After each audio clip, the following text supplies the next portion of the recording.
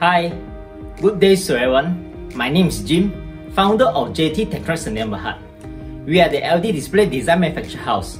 In front of us, this is a go-kart traffic system, where you can see the height and the width of the panel is 370mm. Let's start our product demonstration today. This display basically connected to the router, and this is the main controller, also connected to the router via Cat5. And this is the controller to control the traffic light colors. And let's switch it on. So once switch on, you can see the three colors actually will be flashing. So we can see this is the green color button. Once you press green, basically the display will turn to the green color. That means that the go-kart can operate as usual. Yellow. So yellow, that means that the vehicle need to slow down.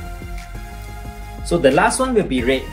Once you press red, that means that there is something emergency happening. So the driver need to be slow down until the driver press green again. So it will turn back to green and operate as usual. This is how it looks like. If you like my video, please help us to like, comment and subscribe our channel. Thank you for watching and have a nice day.